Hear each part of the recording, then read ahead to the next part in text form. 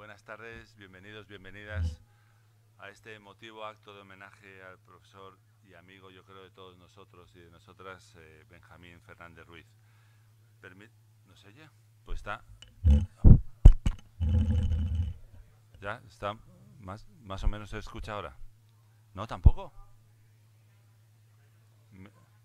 Señor secretario, ¿cómo está usted? Eh, ¿No se me escucha entonces? Ah, que hay gente arriba también. En los aledaños. Perdón, es que no sé si yo, aquí no nos oímos, ¿eh? entonces tengo que, me voy a intentar acercar. Eh, bueno, buenas tardes. Está, encendido. Yo creo que damos poco presupuesto a la facultad. ¿eh? ¿Coincidimos todos? A químicas también, ¿no? Bueno, fuera de bromas, perdón que... Bueno, permítame que presente a mis acompañantes en la mesa presidencial de este acto que yo creo es tremendamente importante para, para la universidad. Inmediatamente a mi derecha el anfitrión de, de, este acto, que es el decano de la Facultad de Ciencias Biológicas, el profesor Benito Muñoz Araujo. Gracias, decano, por invitarme, por permitirme estar aquí. Inmediatamente a mi izquierda, la profesora Yasmina Juarranz Moratilla, directora del Departamento de Biología Celular de la Facultad de Ciencias Biológicas de nuestra universidad. Yasmina, un placer. En el extremo derecho, que era lo que me faltaba, eh, don Sergio Rodríguez, presidente de la Real Sociedad Española de Historia Natural. Un placer. Y en el extremo izquierdo, no por ser el último, menos conocido y menos importante, es el profesor Agustín Zapata González, catedrático del Departamento de Biología Celular de la Universidad Complutense de Madrid. Y yo soy Joaquín Goyache, rector de esta universidad. Repito, les doy la bienvenida a todos. Aquí hay parte del equipo rectoral, equipo de canal, profesores, profesoras de diversas, de reales academias y sobre todo amigos de, y admiradores de Benjamín. Así que bueno, es un momento triste pero feliz a la vez porque estamos recordando a un amigo de todos nosotros. Sin más dilación, cedo la palabra al decano de la facultad. Muchas gracias, rector. Señor consejero, señor rector, eh, vicerrectora, eh, decanos, exdecanos, académicos, compañeros, amigos, familiares. Espero no haberme olvidado de nadie en la, en la lista y si me he olvidado de alguien os ruego me disculpéis porque eh, recientemente he tomado posesión eh, como decano de la facultad y en mi gran acto primero y bueno, eh, seguro se me, notará, se me notará algo. Como máximo representante de nuestra facultad, es una alegría, es una alegría el día de hoy, porque se lo comentaba al rector y lo he comentado con algunos compañeros, yo creo que en poquísimas ocasiones hemos tenido, a los de arriba también saludo, el, salón de actos como lo tenemos en estos momentos, con un lleno prácticamente hasta la bandera. Eh, la verdad es, de agradecer en nombre de nuestra universidad y en nombre de nuestra facultad. Eh, hasta cierto punto es lógico, no, se podía esperar eh, otra cosa en el homenaje a Benjamín. hace pocos años, relativamente pocos, no muchos, eh, me recuerdo entrando en el antiguo salón de actos de la facultad, actualmente el alumnario de biológicas y geológicas, un chaval despistado, con melena, pelo rizado, que entraba a las 12 del mediodía a eh, recibir una clase de Benja. No sabía qué era aquello, organografía microscópica, todos los compañeros decían, no, no, hay que hacer organografía, que es, bueno, lo más en la carrera. Cuando entramos allí, eh, aquel salón de actos, eh, hay algunos jóvenes eh, presentes en la sala, pero la mayoría lo habéis conocido, lleno también, y de buenas a primeras llega un señor con barba blanca, con bata blanca, muy serio, Buenos días, esta es la clase de organografía. Si hay alguien que no esté matriculado conmigo, por favor puede salir. El resto se quedan porque vais a aprender de verdad citología e histología. Pues a partir de ese momento, clases de hora y media, empezábamos a las eh, doce y media las clases, terminábamos a las dos, eh, nos dejaba impactados. Nos dejaba impactados eh, por varios motivos. El primero, parafraseando a Benja, por su vasto, en el sentido de amplio, conocimiento y el manejo brutal que tenía de la pizarra. En aquella época, por supuesto, no existía Internet. Había que hacer unas colas tremendas y madrugar muchísimo en la biblioteca para intentar pelearnos por coger el libro. Y claro, eh, tú veías allí a Benjamín manejar la tiza con los colores, tal, y era de verdad alucinante. Y luego, otro de sus amores, era como si fuera eh, Luis Aragonés repartiendo juego. Manejaba el equipo a los ciento y pico, doscientos alumnos que estábamos, para hacernos reír, para hacernos callar. Yo decía, hostia, yo de mayor quiero ser como él. Eh, evidentemente, eh, hoy, unos cuantos años después, tampoco muchos, todavía sigo empleando algunas de sus técnicas en mis clases. Eh, también reforzadas, por supuesto, no puedo por menos que mencionarlo, a mi gran maestro y amigo, el profesor García Más, que es el que me, llevó hacia, hacia la, la, profesión docente e investigadora en esta universidad. A partir de ahí, volvimos a coincidir en otro acto motivo, que fue la graduación de la primera promoción de graduados en biología, ya había desaparecido la licenciatura, ya éramos graduados, lo que sacábamos a la calle, plan Bolonia. Benjamín había sido padrino prácticamente de todas las promociones de licenciado de biológica y podía haber sido de varias facultades a la redonda, pero eh, era siempre muy amado por sus estudiantes. Y me tocaba a mí ser padrino de una promoción. Entonces era, para mí era como decir, joder, tengo que sustituir a Benjamín en este acto, esto es imposible. Pues bueno, siguió con sus enseñanzas. Niño, cuando estés en un acto académico, se bebe agua en un vaso, nunca de la botella. No he vuelto a beber agua en ningún acto académico, os lo puedo asegurar. Jamás, jamás. Eh, nos ha enseñado a todos mucho, a todos los que estamos aquí, muchísimo. Hemos hablado con él hasta la saciedad. Eh, es un buque insignia de nuestra universidad y eh, por no extenderme mucho, eh, queremos que el acto sea lo más dinámico posible y sea lo más agradable para todos. Aprovechando que hoy tengo al rector a mi lado, no te voy a pedir dinero, rector, aunque ves cómo está el salón de actos, una ayuda tampoco vendría mal. sí deciros que en ese acto de graduación, en el discurso que me tocó dar, dije algo que no había ningún miembro del rectorado en ese acto, pero hoy aprovechando que está el rector lo voy a pedir de nuevo y lo voy a decir.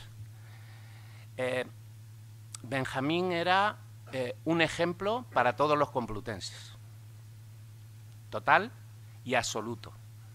Y en ese acto le dije que en algún momento el escudo de nuestra universidad tenía que quitar el cisne y poner a Benjamín con la bufanda del atleta, que era de verdad el símbolo eh, vivo de nuestra universidad.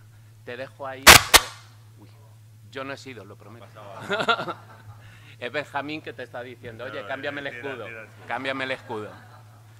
Y ya simplemente por, eh, por terminar, también en muchas de las, lo comentaba el otro día con Agustín Zapata, que nos reunimos para preparar el acto junto con, Sergio perdón, y con Yasmina, que podíamos contar anécdotas, todas las que quisiéramos y más. ¿vale? Y nos tiraríamos aquí varias semanas hablando de Benjamín y de sus anécdotas. Pero sí quiero contar una. Eh, cuando llegué al equipo de Canal, eh, como vicedecano, porque aunque ahora sea decano novato, también tengo mis años de, cocinero, como vicedecano, eh, siempre me decía, Tito, porque soy Tito para él, ¿tú te acuerdas cuando nos cruzábamos por los pasillos con don Alfredo Carrato? don Rafael Alvarado, don Dimas. Y ahora yo soy Benja. Y claro, yo le decía, eh, tienes toda la razón, Benja, es que tú eres Benja, pero hay cosas peores. Y me decía él, por supuesto, el Telle. Dice, eso es peor todavía. Digo, bueno, o Darío. O sea, e-, era una cosa y yo siempre le decía, bueno, yo soy Benito Muñoz y yo creo que el rector tiene que leer siempre que vamos a un acto mi nombre, porque nadie sabe que me llamo Benito en esta universidad, yo soy Tito para todos. Y siempre decía que jamás le había faltado al respeto ningún estudiante. Importante, no necesitaba el don. Y eso, hoy en día, prácticamente todos los profesores universitarios, ahora nos llaman profe algunos, pero uh, oseño, que es peor todavía, pero eh, lo que sí está claro es que eh, es una figura dentro de nuestra universidad y de verdad muchas gracias a todos por estar aquí. Eh, de verdad, muchas gracias.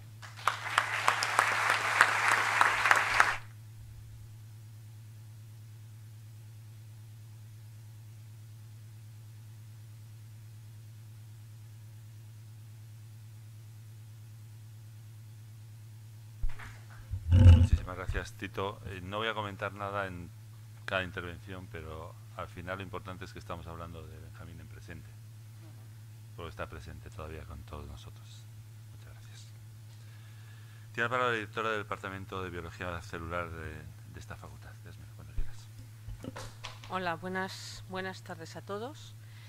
Yo voy a hablar de Benjamín desde dos puntos de vista. El primero como compañera de departamento y el segundo como directora de departamento de los últimos años de su carrera profesional y como cuando ha sido profesor emérito de este departamento. Como compañera, tengo que decir que Benjamín era una persona totalmente integradora y totalmente acogedora. Te, hacía sentir dentro del departamento y te hacía sentir querida dentro del departamento. Yo puedo decir esto en mi nombre y creo que en el nombre de muchos de mis compañeros del Departamento de Biología Celular. Como directora de departamento tengo que decir que Benjamín era una persona que quería el departamento, sentía el departamento como suyo. Empezó, casi como empezó eh, don Alfredo Carrato con él, pero, pero Benjamín ha continuado su legado y ha sentido el departamento como si fuera su casa y como si fuera su familia. Eso significa que Benjamín estaba siempre para lo bueno y para lo malo en el departamento. Para lo bueno, cuando había algo que celebrar, evidentemente siempre estaba ahí Benjamín.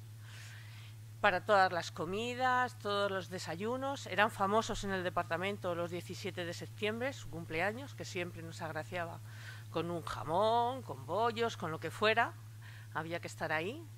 Pero también estaba ahí para cuando alguien en el departamento tenía un mérito o tenía un mérito docente, investigador o algún logro, siempre tenía unas palabras cariñosas para esa persona o personalmente o por correo electrónico.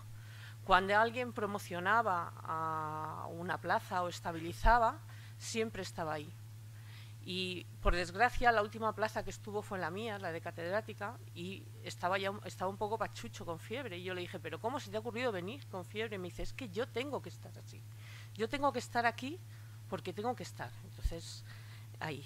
Pero Benjamín también estaba para lo malo. Estaba para cuando alguien se ponía enfermo, cuando alguien em, eh, tenía una noticia triste, siempre tenía unas palabras cariñosas para todo el mundo. Entonces, era una persona muy integradora. Eso hace que la percepción que tenemos en el Departamento de Biología Celular de Benjamín, hasta ahora, tiene dos facetas.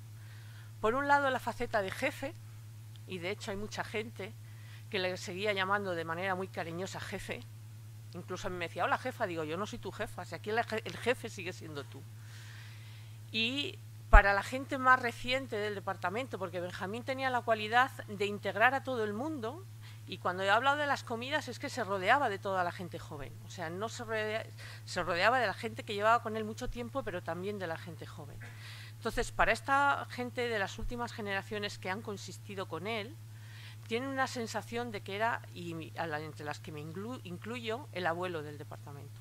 En el abuelo, en el sentido de lo que significa una persona que integra y una persona que quiere y que acoge y que une. Entonces, esa es la percepción que teníamos todos de Benjamín.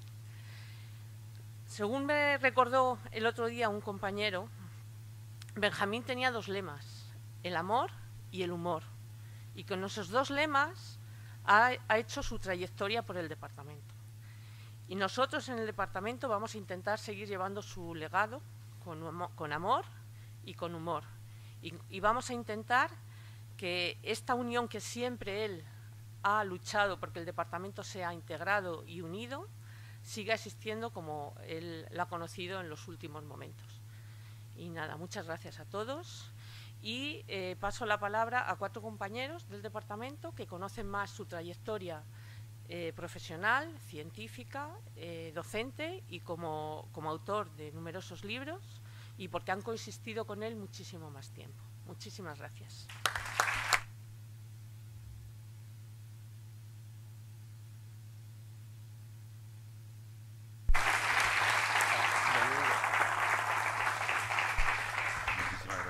Bueno, buenas tardes. Muchísimas gracias por estar aquí en este acto. Eh, tengo que poner las diapositivas porque ah, eh, eh, esta no es. Vamos, este es el Benja, pero no es la mía. La mía es más antigua, donde pone Benja 3 Algeciras 1. Esta, esta. Bien, no se subleven. Eh, la clase de hoy va eh, a... Eh, Domingo, yo puedo pasar la pues. La clase de hoy va a versar sobre el funcionario Fernández. Funcionario Fernández, número de socio 4796 Benjamín Fernández Ruiz empezó así muchas de sus clases de organografía en esta facultad. Si con eso los alumnos no tenían bastante, en prácticas, cuando no acertaban a poner bien los objetivos del microscopio y miraban por el ocular y se veía todo oscuro, y preguntaban, ¿esto qué es? Benjamín contestaba, esto es el porvenir, señorita. Con, este, con esta entrada no es difícil entender por qué los alumnos, como ha dicho nuestro decano, adoraban a Benjamín. Eh, a él le gustaba llamarse funcionario Fernández y efectivamente en el concepto antiguo del, antiguo eh, imperio austrohúngaro, un buen funcionario era la imagen de Benjamín una persona que defendía, defendió siempre la universidad, siempre la universidad pública, la UCM, nunca le vi faltar a una clase, pero es que además su puerta estaba abierta, como ya han dicho y repetirán mis compañeros, siempre para todo el mundo.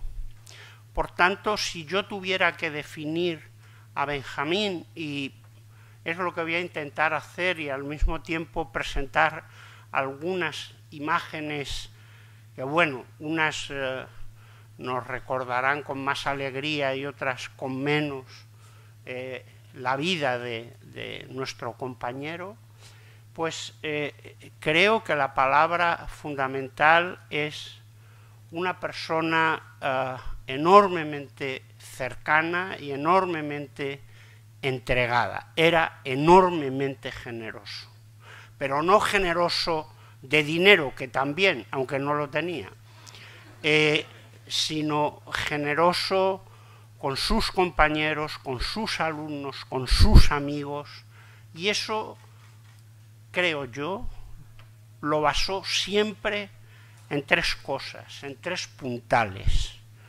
Su eh, religión, su familia. Obsérvese que María lleva el famoso traje familiar colchonero. María, Nicolás, Carmen. Su patria chica. Para Benjamín había patria, la grande y la chica. La chica pasaba por eh, La Mancha y pasaba evidentemente por eh, Ciudad Real me decía, no sé cuántos pregones llevo, pero tengo el pasillo lleno de vírgenes, que me han ido regalando en las distintas instituciones. Como yo no era muy creyente, no me podía pasar mucho material. El, siguiente elemento, las siguientes personas que nos hemos beneficiado de eh, Benjamín en el buen sentido de la palabra son los amigos. Aquí hay una de sus comidas, hay algún compañero que yo identifico, aquí hay muchísimos más de los que me consta que son asiduos a determinadas comidas y en determinados locales, y después su club de la pipa. Yo no sé qué estaría haciendo, pero les está enseñando a cajar algún tipo de chanchullo tendría con estos de la pipa para que tragaran lo de Cajal, porque realmente eh, los amigos estaban aquí en la facultad, tres eh, personas del departamento, otra persona que desgraciadamente nos veremos dentro de poco en otro homenaje eh, similar a este y el profesor Agustín González, que siempre estará con nosotros, esté aquí o esté en Roma. Ah, esto es volver a hace muchísimos años en el Congreso de eh, primer Congreso Nacional de Histología en Valladolid. Es mejor no mirar hacia la parte de atrás e intentar reconocer eh, a la gente. Se han deteriorado un poco. Este era su Santa Santorum, este era su despacho. Si os fijáis, está lleno de cuadros de Cajal, de los pies de, los astrocitos que eh, tanto adoró. Eh, siempre que se habla de Benjamín, se habla de que era un excelente docente, cosa que era evidente y lo sabemos todo, y se hablaba, se habla muy poco de su investigación. Eh, yo tengo a gala sacar esta diapositiva que no tiene nada que ver ni con su investigación ni con la mía. Este es eh, eh, la típica, el típico por cierto o por siaca que se hace en la investigación de, pues teníamos unos hámster de un proyecto para estudiar envejecimiento en hipotálamo y en sistema inmune y, no sé por qué le sacamos las papilas gustativas de la lengua y con eso publicamos este trabajo en que él firmaba de primero, el Fernández naturalmente ese Benjamín, y al final del lectal eh, estaba yo. En esta época, en esta época, eh, Benjamín eh, estudiaba glía, que es algo que en aquella época no hacía nadie o se consideraba que era unas células tróficas que ayudaban a las neuronas, pero realmente quitando los pies chupadores que eran así como entretenidos, nadie le hacía mucho caso. Benjamín continuó toda su vida trabajando en esto. Esto es una foto mucho más reciente de una conferencia en este eh, salón de actos hablando de Cajal y hablando oh, de Glía. Eh, también eh, le ofrecieron, me consta, muchísimos más cargos de los que aceptó. Y los que aceptó no eran muy fáciles. Primero con el profesor Villapalos como vicerrector de departamentos y centros, que él decía, Zapi, vaya confesionario que me he montado. Allí uno va por un lado, te echan por un lado o por el otro y te das cuenta que tu departamento no es el más malo de la universidad, hay otros muchísimos peores. Después, evidentemente, como asesor del profesor Puyol, y aquí está hablando con el rector actual, seguro que le está pidiendo algo, pero seguro que no es para él. Y probablemente sería para sus monjitas del Don Bosco, que yo le preguntaba, pero ¿quedan monjitas? O sea, vivas, ¿quedan alguna? De sí, sí, porque ha habido remesas nuevas que han traído, pero ¿cómo remesas nuevas? Bueno, tú no preguntes de estos temas. Siempre intentando ayudar en cualquier cosa en cualquier sitio donde estuviera. Y siempre su departamento presente. Aquí todavía con el profesor Carrato, eh, Joaquín Fernández, eh, Ramón Anadón, el propio Benjamín, jovencísimo, yo como si no hubiera nacido, y otro montón de compañeros, unos que no están, otros que se jubilaron. Antes nos llamábamos morfología microscópica, ahora nos llamamos biología celular, pero Benjamín, como veis, sigue siendo el centro totalmente arropado por el resto de todos eh, nosotros. Ya termino. Y esto solo es para él. Amigo, muchas veces hemos hablado de que cuando no te, cuando no te viéramos y empezáramos a soñarte, nos querías tener a todos a tu lado. Pues fíjate cómo está esto, pleno al 15. Han venido hasta de provincias, hasta de tu pueblo, macho. El único que falta es el cholo porque te está planchando la corbata para que te la puedas poner el lunes. Gracias por todo de corazón.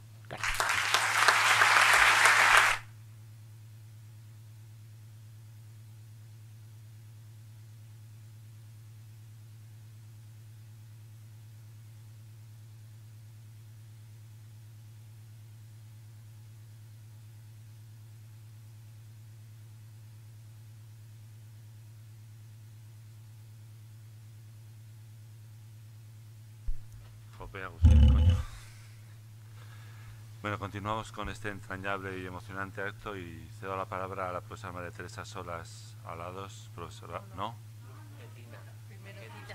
No, pues te lo he puesto mal. no es culpa mía, ¿eh? No es culpa mía. Eh, hay que cesar a Domingo Marquina, ya está. Hay un puesto vacante de vicedecano. Hay un puesto vacante de vicedecano, no pasa nada. El lunes lo cubrimos. El lunes lo cubrimos. ¿Algún voluntario o voluntaria? Sí, vale. Eh, vale. A ver, primero. A ver. ¿Cómo está usted? ¿Bien? Bueno. Etiqueta muy bien Fernando, profesor del Departamento de Biología Celular de la Facultad de Biología.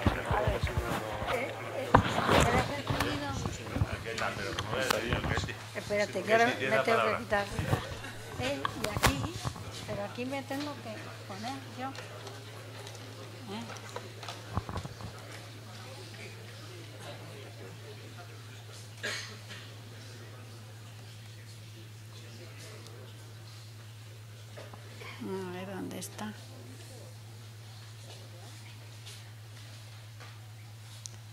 Bueno, buenas tardes y lo primero, antes de nada, bueno, sí, primero quiero dar las gracias al comité organizador por haberme invitado a intervenir. Es este acto, estoy muy contenta de estar aquí y estoy muy orgullosa. Para, como veo que hay un público muy amplio, lo primero que quiero decir es que he puesto esta imagen. Esta imagen le gustaba muchísimo a Benjamín y a la familia eh, no le tengo que decir nada porque la reconoce perfectamente. Pero esta era la, la platería, joyería de los padres de Benjamín. Entonces, sobre esto, pues voy a, a empezar a hablar. Han sido muchos los años que yo he compartido con Benjamín de vida universitaria y quiero resaltar de ellos fundamentalmente el amor que tenía a la universidad y su humanidad. Em, pero ¿cómo conocí yo a Benjamín Fernández Ruiz, hijo de Carmen y de Benjamín, natural de Ciudad Real y perteneciente a la séptima promoción de biólogos de la Universidad Complutense de Madrid? Pues le conocí porque yo quería hacer la tesina. Pregunté en la facultad y me dijeron que había un profesor muy simpático que hablase con él. Fui, le busqué y le dije a Benjamín lo que quería. Benjamín, ¿qué me dijo? Que no. Pero yo volví a insistir, insistí, insistí y me dijo que sí. Le oí por primera vez decir una frase que la repetía de forma reiterada. ¿En qué líos me meto? Pero no puedo decir que no. toda su vida universitaria fue así, lleno de tribunales, tesinas, tesis, oposiciones, conferencias, presentaciones de libros. Tenía una gran empatía y tal y como ha dicho el profesor Zapata, es que atendía a todo el mundo. Realmente su despacho era un auténtico confesonario. Allí llegaban alumnos, profesores, todo tipo de personal. Pero lo más curioso es que a veces llegaban personas que no le conocían de nada, pero es que tenían el placer de saludar a un señor profesor de la Complutense de Biológicas que era muy agradable y tenían ese placer y habían venido fuera de Madrid. La vida universitaria, bueno, la vida docente eh, y la experiencia docente de Benjamín fue sumamente amplia, tanto en la enseñanza secundaria como en la enseñanza universitaria. Y en la enseñanza secundaria pasó por muchas oposiciones y una de ellas es de la que estaba más contento por haberla obtenido, que era, como él decía, catedrático de instituto por oposición. ¿Por qué catedrático de instituto por oposición? Pues porque unas, había muy pocas plazas, los requisitos que se necesitaban eran muy grandes, eh, la dureza de las pruebas también, y el caso es que estaba tan orgulloso que cuando estábamos trabajando había veces que quería imponer su criterio y yo le decía, ¿qué pasa? Que es que tú como eres catedrático por, por oposición de instituto sabes más que yo, no os digo lo que me contestaba. En cuanto a la experiencia universitaria, fue sumamente amplia y además fue un gran profesor, pero en todas las materias que, pudo explicar, pero sobre todo en la asignatura de organografía. Las clases de organografía eran claras, amenas, concisas, transmitía perfectamente lo que quería que el alumno conociese. Además, las clases aunque eh, podía darlas a otra hora, pero él prefería las ocho y media de la mañana porque de esa manera luego tenía más tiempo libre. Entonces los alumnos tenían que llegar temprano, porque claro, no había los medios audiovisuales que hay actualmente. Tenían que coger las primeras filas para poder atender bien. Eh, las pizarras o la pizarra, porque en algunas aulas había varias, en otras había una sola, se llenaban de nombres y de dibujos de colores. Y esos dibujos de colores estaban hechas con sus tizas de colores, que eran sus compañeras inseparables. Y a mí me quitaba el color amarillo. Me dejaba mi caja de tizas sin color amarillo. Eh, ¿Qué ocurrió en, en esta época? Pues que llegó la ley de reforma universitaria. Y con esta ley de reforma universitaria cambió el modelo docente. Y lo que hizo fue limitar el número de alumnos por clase. Pero además aumentaron los planes de estudios bastante el número de asignaturas nuevas a impartir. ¿Qué se pensaba que podía ocurrir? Pues ante esa situación era, y aquí en biológica se pensó, que con tantas asignaturas a impartir los alumnos iban a diversificar. ¿Pero qué ocurrió? Pues que no que se matricularon de forma masiva en la organografía. Y la propia facultad, en lugar de tener un grupo, tuvo que poner varios grupos de la asignatura de organografía. A partir de ese momento fue cuando yo empecé a compartir con él también esta asignatura. Llegó eh, otro cambio importante en la Universidad Española, que fue cuando España se incorporó a la Unión Europea. Entonces, ¿qué ocurrió? Pues que había otros cambios importantes en los planes de estudios, como eran nuevas metodologías y nuevas tecnologías. Ahí ya Benjamín le costaba un poco. Para él era duro las nuevas tecnologías. Pero ¿qué pasaba? Que tenía sus tizas de colores. Utilizaba la metodología que lo utilizaba, pero además las tizas de colores fueron inseparables durante toda su vida académica. Pero ¿cómo era el primer día de clase de Benjamín? Pues dependía, porque había veces que le daban una clase que era la de antropología. Claro, era evidente que iban a aparecer estas imágenes que vemos aquí en la pizarra, en, en la pantalla. Entonces llegaba Benjamín el primer día de clase y decía, Miren, señores, miren las paredes. ¿Ven ustedes estos retratos? Pues estos retratos son los alumnos más aventajados del curso pasado. Tomen nota para el curso que viene. Otras veces, en lugar de, eh, si le asignaban otra aula, pues llegaba y como decía el profesor Zapata, ponía el número 4750 en la pizarra. Miren este número, es el número de socio del Atleti, que es, mi número de socio. Que levanten la mano los alumnos del Atleti. Ustedes ya saben que tienen un punto en la asignatura de organografía. Tal y como se ha dicho, era de obligado cumplimiento y que Benjamín iba todos los días a clase. Y así era. Pero un día, en mi casa, a las doce y cuarto de la noche, sonó el teléfono. Y entonces me dijo, bueno, dijo buenas noches. Buenas noches, me tienes que dar la clase mañana, a las ocho y media de la mañana, porque a la puerta de casa me vienen a buscar de madrugada. Me llevan en coche a la base de Cuatro Vientos y me recoge un helicóptero. El helicóptero me lleva a la base de Rota. En la base de Rota me cogen en una lancha. En esa lancha me llevan al portaaviones Príncipe de Asturias. Esas medallas que se ven aquí abajo en la pantalla son las medallas del portaaviones Príncipe de Asturias. No supe qué decir. No sabía si era una broma. No, no sabía. Me quedé en blanco y lo único que dije, y con una voz muy dulce, ¿qué tengo que explicar mañana? Me dijo lo que tenía que explicar mañana y al día siguiente yo di la clase a las ocho y media de la mañana.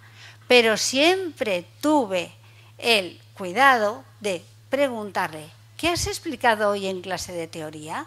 Y de esa manera ya no me podía eh, pillar desprevenida. Al final de la última clase, Benjamín siempre reunía a los alumnos y se hacía una fotografía con ellos, porque tenía verdadero cariño hacia sus alumnos. De la misma manera, los alumnos, a petición propia, pedían que Benjamín estuviese en las orlas. Y desde luego tengo constancia y tengo las orlas de múltiples años, siempre estaba Benjamín. El cariño que le tenían a Benjamín era tremendo. Y digo el cariño, pues el cariño y el amor a la universidad. Su ilusión era no dejar de ser profesor, no dejar la universidad. Y así ha seguido y le ha llevado a dejarnos siendo profesor emérito honorífico. Era también amante de las tradiciones y de salvaguardar las formas y normas universitarias. Hay muchas tradiciones, muchas formas, muchas normas, pero había una que él quería que siguiese siempre, y era que se celebrase San Alberto Magno. San Alberto Magno es el patrono de ciencias y el 11 de noviembre va a ser este año la fiesta. Siempre es una comida o una cena. ¿Cuántos asistentes hay? Poquísimos. Prácticamente el número eh, de personal que va es mínimo. Pero en ese mínimo siempre estaba Benjamín y siempre asistía. Este año estoy convencida que se le va a echar de menos. Tenía como tenía tanto cariño y amor a la universidad y tenía tantas actividades, usaba una mini agenda, pero esa mini agenda muchas veces se le llamaba también a algunos compañeros el carnet de baile, porque era sumamente pequeña. Ahí anotaba todo, todo. Cualquier tipo de onomástica, evento, el que fuera. Pero también tengo que decir que lo primero que apuntaba en la agenda del año nuevo era los santos y cumpleaños de Carmen, de, eh, pongo a María, aunque sea más joven, María y Nicolás. Pero siempre apuntaba. Luego íbamos los demás. Y digo íbamos porque luego iba eh, Bebé y luego iría Belén, irían los demás. Luego íbamos los demás. Había veces que como los espacios eran tan sumamente pequeños, él escribía. Pero ¿qué pasaba? Que cambiaba de renglón y luego llamaba a quien no tenía que llamar. Pero con su gracejo habitual, todo eso lo salvaba. Eh, también, y como se ha mencionado, nosotros, bueno, el Departamento de Biología Celular antes se denominaba morfología microscópica.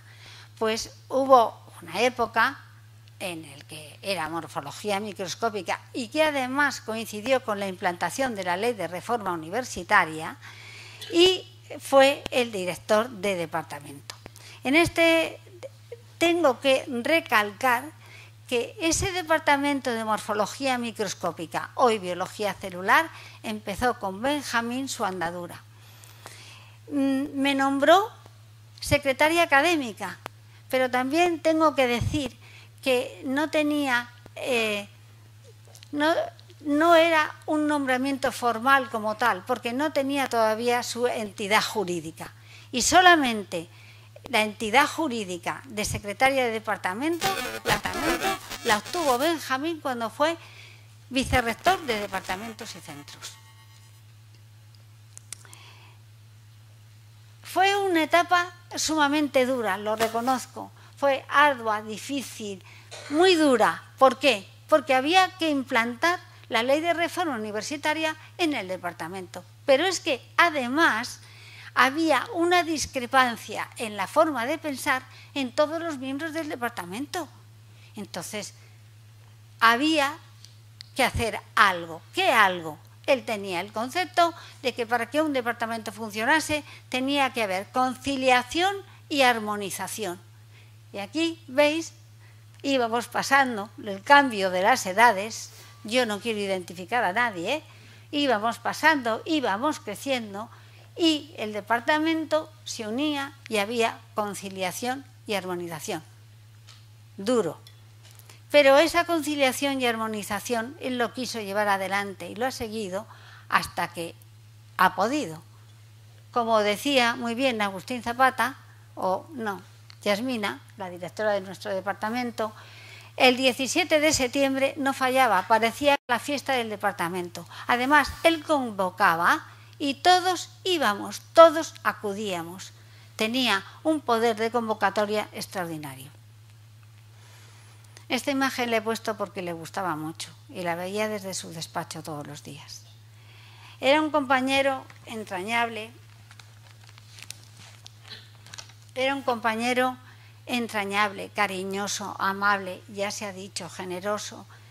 Siempre cuidaba de los demás y tengo que decir que ha dejado huella por donde ha pasado, porque Melilla, Alicante, Salamanca, eh, La Laguna, Alcalá de Henares, el Don Bosco, la Complutense, por todos los sitios que ha pasado, la Real Sociedad, por todos los sitios que ha pasado, ha dejado huella. A nosotros cuando llegaba al departamento por las mañanas, eh, pasaba por todos los despachos y decía, uy, este chico, ¿cómo trabaja? Yo le veo que va para decano, ¿eh? Puede llegar. Y a otras le decía, eso, venid por la mañana y trabajad pronto y, daréis mucho rendimiento. Pero lo que más le gustaba era abrir la puerta de prácticas y como hubiese una profesora dando prácticas, se asomaba a los alumnos, esto lo hacía en los últimos años, ¿eh? abría la puerta, veía a los alumnos ah, y les decía, esta profesora es la mejor del departamento, que os lo digo yo, que soy mayor. Pero también tengo que deciros que era muy consciente de que el tiempo pasa. Y a finales de mayo me comentó, hay otra emoción, no sé las que aguantaré. Me he despedido del Don Bosco tras 33 años. Todo llega, acabaré el curso. Y así ha sido, Benjamín. Te vamos a echar mucho de menos. Gracias.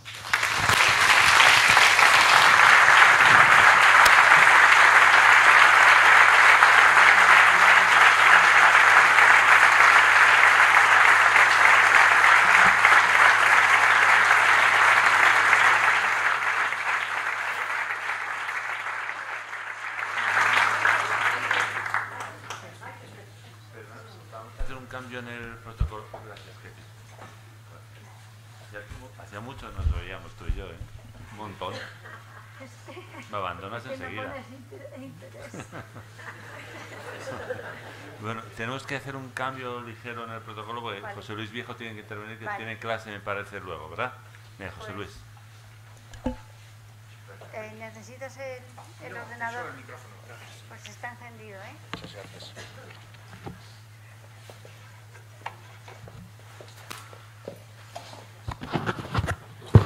Buenas tardes.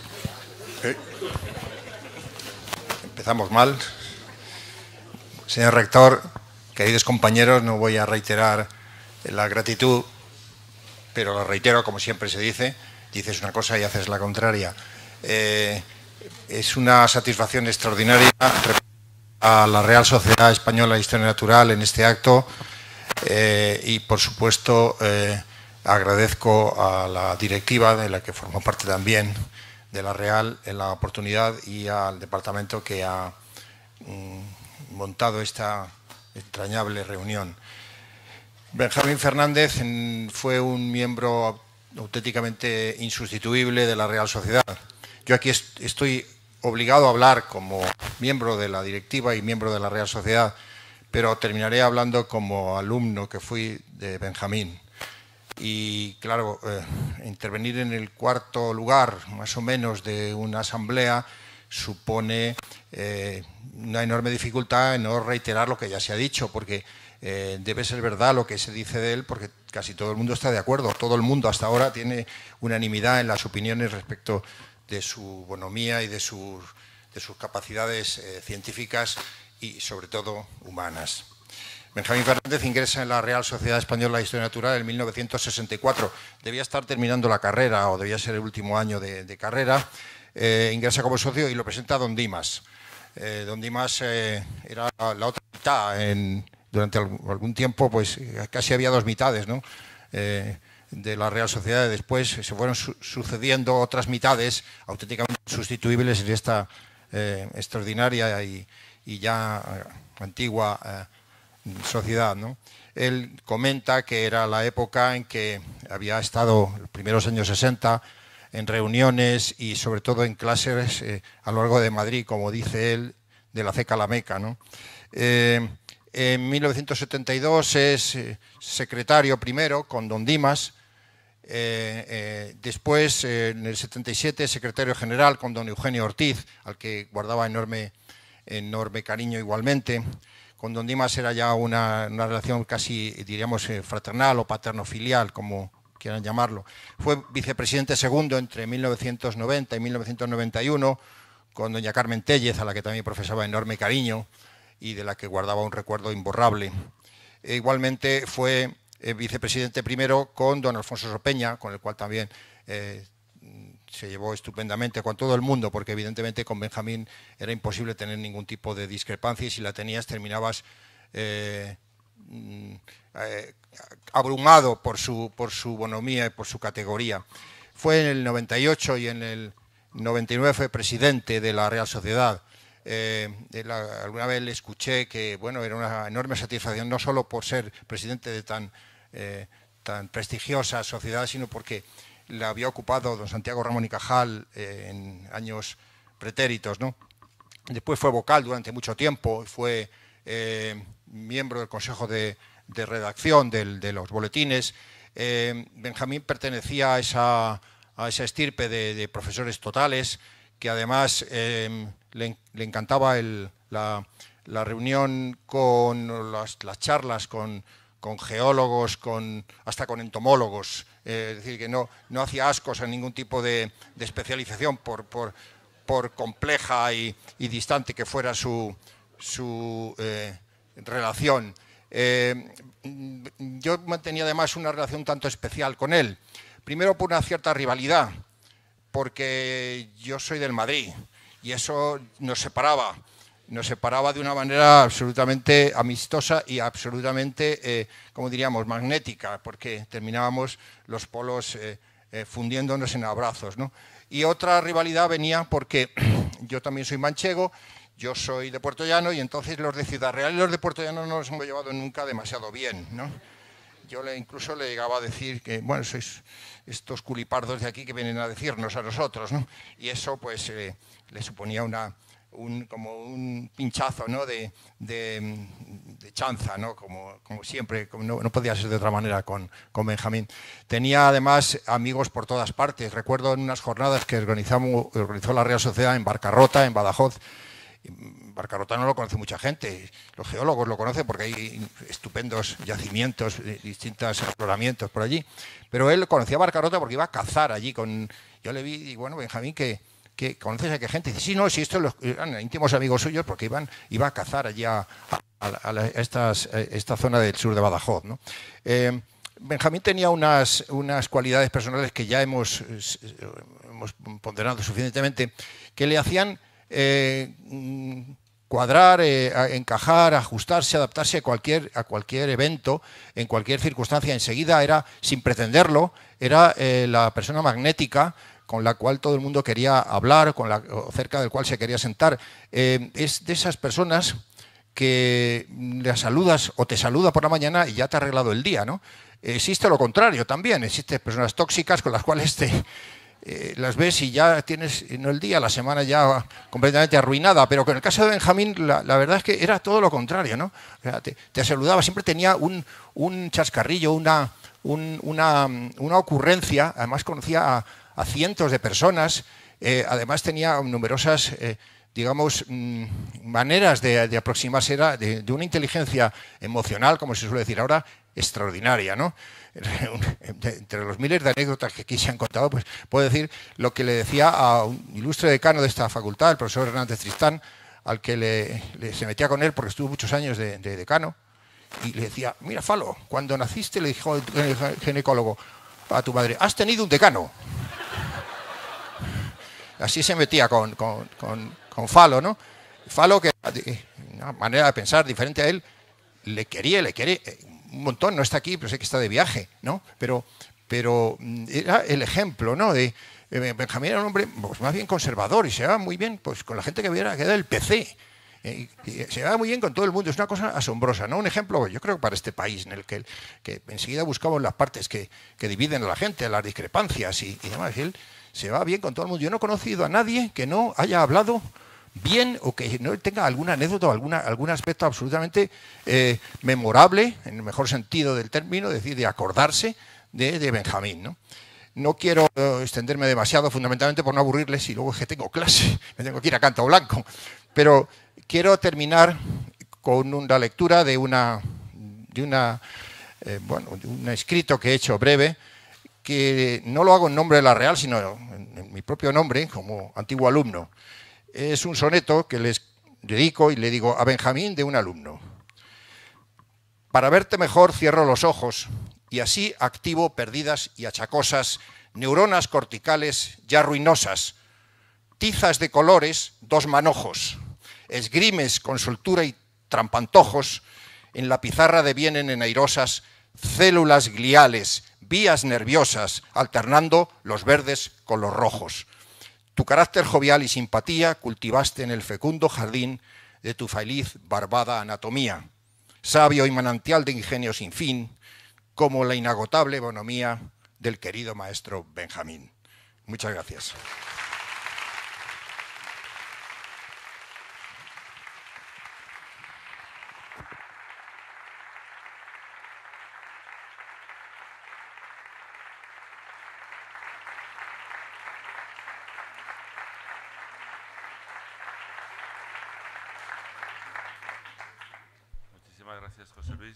Si ahora ya continuamos con el protocolo previsto, tiene la palabra Maite Solas Sagrados, profesora del Departamento de Biología Celular de esta facultad, que va a hablar un poco de la faceta investigadora de Benjamín.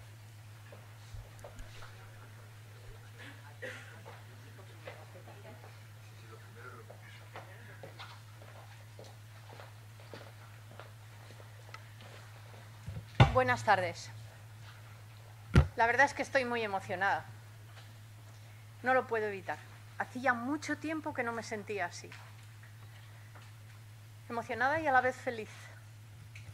Feliz de estar aquí, de poder compartir este acto de homenaje a Benjamín Fernández Ruiz, a nuestro querido profesor con tantas personas cercanas a él, con tantas personas que le queremos, que le admiramos.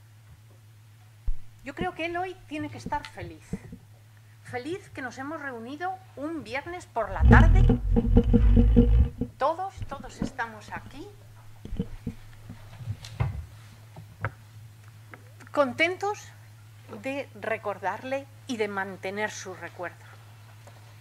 Quiero dar las gracias a todas y cada una de las personas que han hecho posible que este salón de actos lleve su nombre. Creo que es un recuerdo para las generaciones futuras que se preocupen de saber quién era, quién era su figura.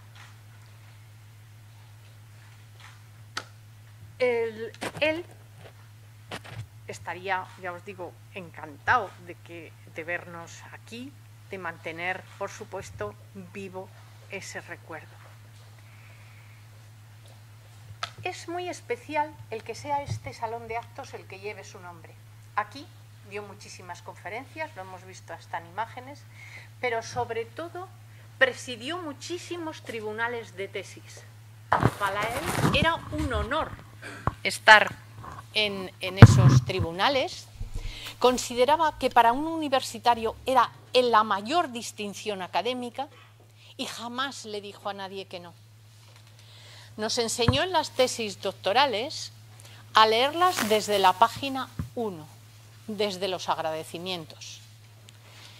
Recuerdo perfectamente que me decía, no se puede separar a la persona, a la persona investigadora, de su trabajo.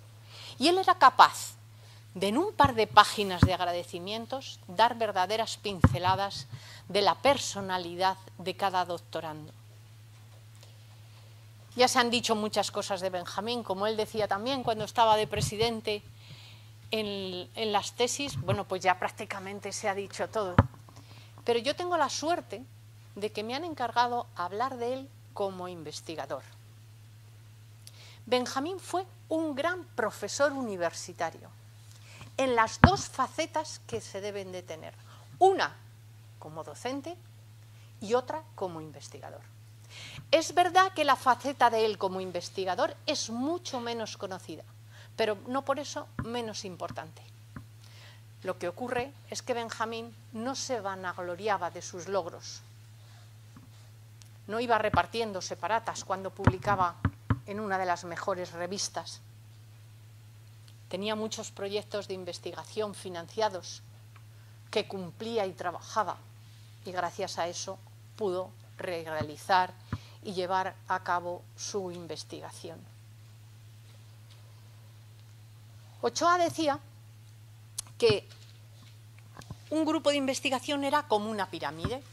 Estaba la base, en donde se encontraban los becarios, las personas que estaban empezando a hacer un currículum, que tenían mucha fuerza. Es verdad que sin la base la pirámide se caía, pero no era pirámide si no tenía vértice, si no tenía un investigador principal con ideas brillantes que además tuvieran una trascendencia de futuro. Esa era la definición de Benjamín como investigador.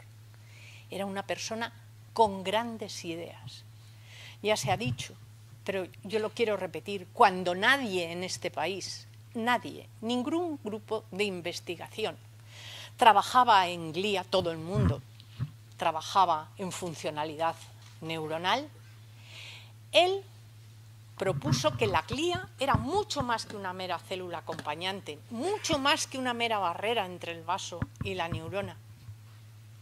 Lo planteó y lo demostró.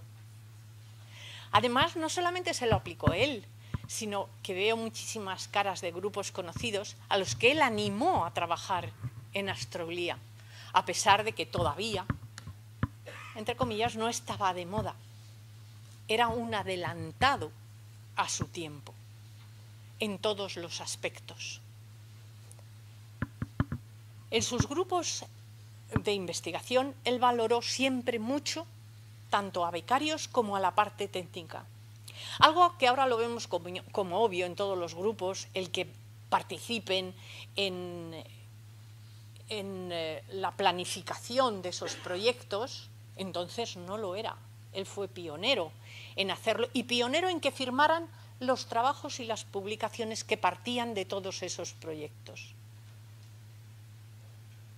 Como veis, tiene cantidad de aspectos de pionero a su tiempo, de persona con ideas, con visión de futuro. Esa es la idea que muchas personas, no tan mayores como muchos de los que a lo mejor estamos hablando hoy, quiero que quede, que quede a las personas que sean capaces de ver que este salón de actos lleva su nombre. Y lo lleva no solo por persona, que también, afable, divertida, llena de anécdotas, llena de preocupaciones, con su despacho, por supuesto, siempre abierto, un gran docente. No, además era un gran investigador. El que tenga curiosidad no tiene nada más que ver. Su línea central fue la glía hipotalámica, pero abarcó muchísimos más aspectos de la glía. Si veis el currículum, tiene gran cantidad de publicaciones nacionales y extranjeras, cuando antes el publicar era mucho más difícil y complicado que ahora. Participaba en muchos congresos, lo mismo nacionales y extranjeros. Tuvo muchísimos proyectos de investigación financiados que todos desarrollaba con una estricta eh, profesionalidad. Yo tuve la gran suerte de compartir con él una parte de mi investigación. En un momento muy difícil para mí como investigadora, él me tendió la mano, que por cierto nunca me la quitó. Siempre me agarré a ella, siempre le tuve cerca y siempre me ayudó. Ya os digo que estoy muy emocionada y me vienen tantas anécdotas de él ahora mismo, pero hay un par de ellas que sí que quiero comentar porque definen su carácter como investigador. Era un gran microscopista. Yo recuerdo, me pasó muchas veces, pero recuerdo una vez que llevaba días, cuando las fotos las veíamos en papel, las subrayábamos, no en tizas, pero sí con rotuladores, encima de una polleta grande, llevaba, ya os digo, días viendo y tal, y ya iba a desistir. Él todas las mañanas pasaba, te daba los buenos días, te decía cualquier frase de ánimo, y ese día me dice, buenos días, ¿qué tal? Digo, muy mal. Muy mal, porque, a ver, cuéntame. Y ya estaba allí mirando las fotos, porque era extremadamente curioso en cuanto al trabajo que estábamos compartiendo. Y le decía, mira, lo voy a guardar porque llevo ya muchos días, no veo salida, no veo cómo abordar el tema y tal. Y me dice, hombre, pero si lo tienes ya. ¿Cómo que lo tengo ya? Sí, sí, mira, ya está. Y te lo decía de un modo que te hacía sentirte importante. Es decir, no te recriminaba que no lo hubieras visto, que parece mentira llevar allí tantos días mirando y no haber sido capaz, ¿no? Y ya intentar recogerlo. No, te lo decía como, pero si ya lo tienes, pero si ya lo has hecho, pero si está estupendo, ahora lo que tienes es que tirar por aquí. Compartí con él, tuve el honor, su última tesis. Yo digo que codirigí, pero es mentira, es una pura falacia, la dirigió él. ¿eh? Incluso en esa tesis se disculpó porque no había llegado a todas sus conclusiones, a todos sus objetivos. Quizás con el paso del tiempo yo siempre he pensado que una tesis es precisamente eso. Es el inicio de algo, no la conclusión, sino la propuesta de una línea de investigación mucho mayor, con mucho más amplitud de miras. Bueno, pues hace un par de semanas, 20 días, he estado en una jornada de actualización de ensayos clínicos en esclerosis lateral amiotrófica y justamente el tema que había propuesto para esta tesis doctoral, es decir, esos astrocitos no solamente influían sobre la neurona, sino también en la matriz extracelular, era uno de los ensayos que se, más prometedores que se auguraban en ese, en ese simposio. Me acordáis tanto de él, la verdad es que me acuerdo todos y cada uno de los días. Ya no os aburro con más anécdotas, pero sí quiero transmitiros un sentimiento que no me quiero ir sin hacerlo, que creo que comparto con la mayor parte de la facultad y con, especialmente con la planta 12. El día a día en la facultad es muy duro. Sabes que no te vas a encontrar con él. Desde que Benjamín entraba en el ascensor, con cualquiera que se cruzaba, tenía una sonrisa, tenía un chascarrillo, tenía una palabra de ánimo. Eso sabemos que no lo tenemos cuando llegamos, sabemos que lo hemos perdido, pero lo hemos vivido junto a Él. Somos capaces de recordarlo y siempre estará vivo todos y cada uno de los días que seamos capaces de hacerlo. Por tanto, al menos mientras yo tenga capacidad, aunque creo que voy a tener Alzheimer de todas las cosas que olvido, mientras yo tenga capacidad de recordar, estará vivo en todos nuestros pensamientos. Muchísimas gracias por estar hoy aquí.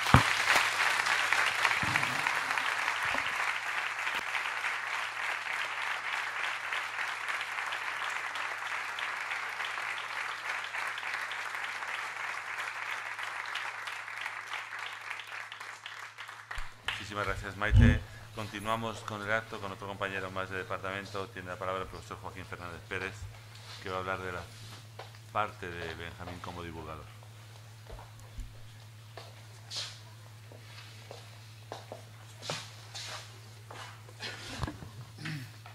Buenas tardes a todos.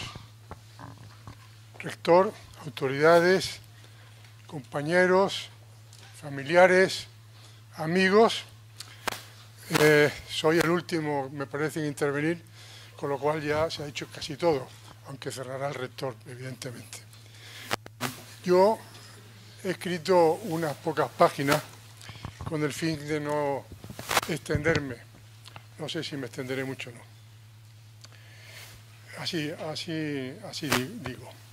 Hoy aquí, en su facultad, estamos reunidos para recordar a Benjamín Fernández Ruiz o Benjamín a secas. Uno, conocí a Benjamín en la carrera. Podría haberlo conocido antes en Jerez o en Cádiz, en los años 50, pero no coincidimos. Sustituyó en unas pocas ocasiones a don Alfredo Carrato en sus clases de citología e histología.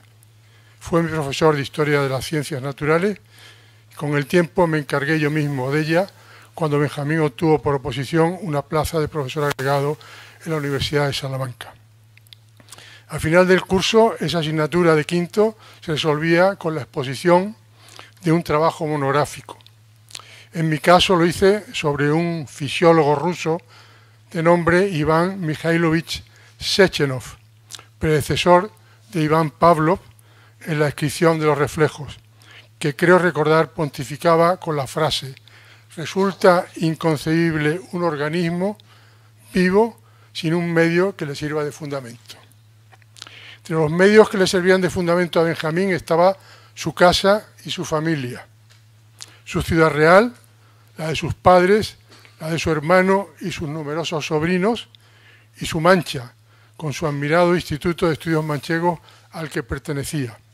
Otra parte importante de su medio fue su ejercicio tanto docente como investigador, como acaban de reconocer los que me han precedido en el uso de la palabra. Como catedrático, primero de enseñanza media y luego de universidad de citología e histología, después de biología celular. Ocupó otros puestos del escalafón universitario, no sé si todos. Fue vicerrector de departamentos de la Universidad Complutense cuando estos se estaban creando, los departamentos, y director del Departamento de Biología Celular en esta facultad.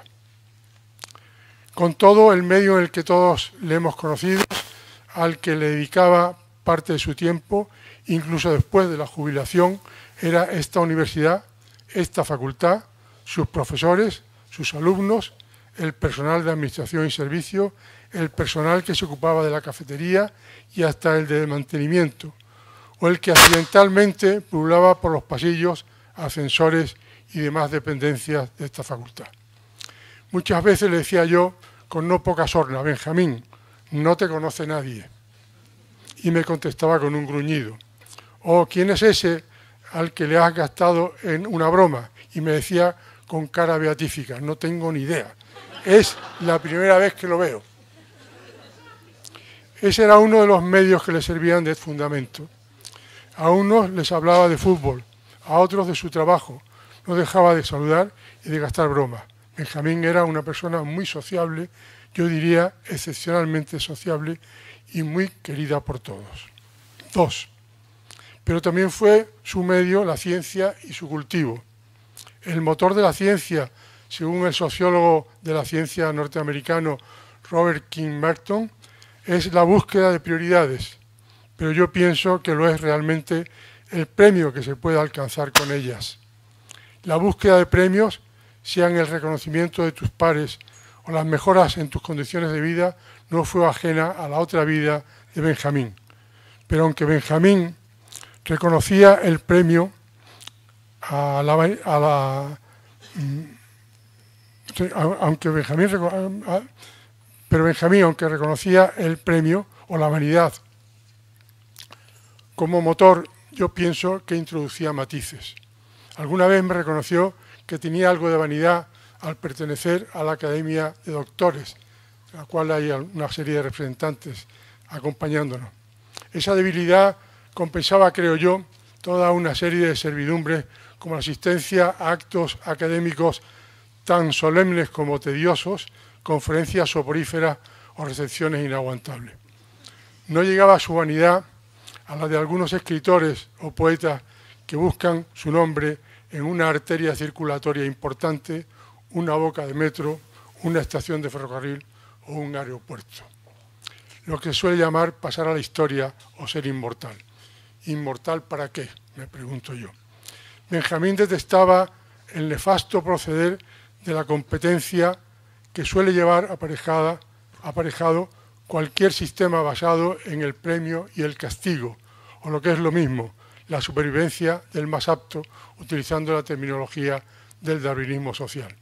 Por el contrario, su exquisita amabilidad propia de los seres sociales, como diría Jean-Jacques Rousseau, no le consentía seguir esa lucha infecunda para el conocimiento y también para la vida feliz en sociedad. Benjamín compartía y nunca percibí gesto alguno de rechazo ni sombra alguna de envidia. Practicaba, eso sí, la sana envidia.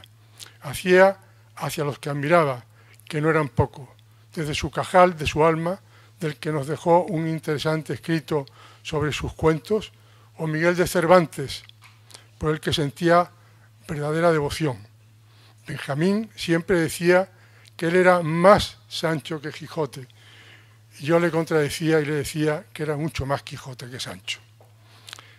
En esta lista incluía a su admirado y querido Alfredo Carrato y, como no podía ser de otra manera, a sus muy queridos compañeros, a sus muchos alumnos de carreras exitosas y fulgurantes. Por tanto, y a pesar de un ambiente en el que la competencia, la envidia y hasta la venganza suelen manifestarse con mayor o menor crudeza, Benjamín era solidario con el infortunio, colaborador sincero y alejado de la competencia para la cual ya tenía a su Atlético de Madrid y su procelosa vida liguera. Otra importante característica del medio que le sustentaba era el cultivo siempre delicado y generoso de la amistad. Amistad que profesaba a muy variadas personas y personajes de muy diferentes procedencia profesional y social, surgida de las más variadas de los más variados vericuetos y avatares de su vida. Benjamín además hacía amigos cada día, a veces efímeros como la vida misma, a veces se convertían en amigos del alma, esos que solemos llamar de toda la vida. 3. Pero junto o contra este medio o mundo que vivía, existió en Benjamín un mundo soñado, menos conocido, mejor guardado el mundo que yo no viva, lo llamaba Agustín García Calvo en un poema. Parménides, fundador de la metafísica, nos dejó dicho que el no ser no existe, pero como humanos podemos pensarlo o soñarlo. También podemos crear, crear ese mundo que nos hubiera sido más propicio a nuestros sueños irrealizables y a nuestras esperanzas vanas. Ese mundo al que pertenecen los secretos mejor guardados y las aspiraciones nunca satisfechas, el mundo de la ensoñación y también el de los deseos, el del amor. No creo que llegara a construirlo en su totalidad, ni que tampoco viviera muy pendiente de él, pero sí me esforzaba, eh, sí se esforzaba en acercarse a él, cultivando cosechas inescrutables, soportando tormentas apacibles y sequías torrenciales, viendo medrar los espantos y mermar los sosiegos. El mundo que yo no viva lo pensé como cosa extraña, como marca de maravilla hay de mi vida. Es la primera parte del poema El mundo que yo no viva de Agustín García Calvo. Y así continúa.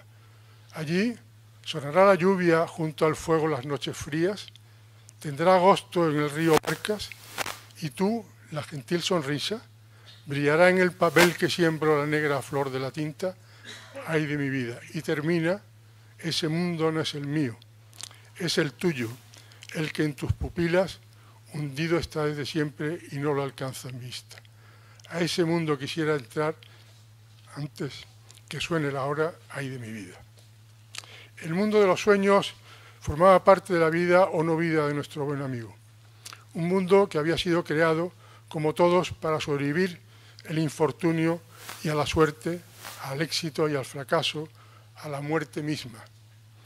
A la muerte que no temía, porque la había vivido muy de cerca en él y en sus seres queridos. Cuatro. A continuación me gustaría referirme a esas expresiones que a veces son títulos de películas, de novelas o sentencias. Nadie hablará de nosotros cuando hayamos muerto. Título de una conocida película de Elías Díaz Llanes. El olvido que seremos. Título de una novela de Héctor Abad Faciolince, convertida en película también bastante reciente y del mismo título por Fernando Trueba. Benjamín era un gran aficionado al cine y muchas películas le, conmovían. O la expresión la muerte de los muertos, que la escritora chilena María Luisa Bombal llamará la segunda muerte. El acto que hoy nos congrega a familiares, amigos, profesores y autoridades y en mayor medida la placa que se va a colocar en este salón de actos, testigo de muchos acontecimientos y escenario de otros que están por venir, representa el combate que debemos librar los que sobrevivimos para derrotar esa muerte de los muertos. El recuerdo imperecedero de un padre, de un abuelo, de un familiar, de un profesor, de un amigo. Cinco y último. Y para terminar, rebuscando en mi memoria y con la ayuda de esa información tan accesible que hoy tenemos, he encontrado un poema de Javier Salvago, es un poeta sevillano de paradas, que no me resisto a leer porque sintetiza las últimas conversaciones que mantuve con Benjamín, siempre escépticas pero no pesimistas. Nada importa nada, es el título. Si algo enseñan los años es la poca importancia que tiene todo. Todo, tarde o temprano, pasa. El amor que se va como viene, la vaga juventud con sus sueños, sus grandes esperanzas, días de vino y rosas, épocas de abundancia del corazón, el brillo, la belleza, las ganas de llevarse la vida por delante, las fatuas ilusiones, estrellas que de pronto se apagan y nos dejan en una noche oscura del alma. El dolor que creías interminable, el ansia por conseguir aquello que conseguido es nada, la vanidad, sus pompas, gloria futura, fama, uno mismo, sus obras, somos de un sueño escarcha, rocío de una noche que el sol de otra mañana derrite. Vanidades, espejismos, fantasmas. Si algo enseñan los años es que todo se acaba, que nada en este juego dura ni importa nada. Muchas gracias.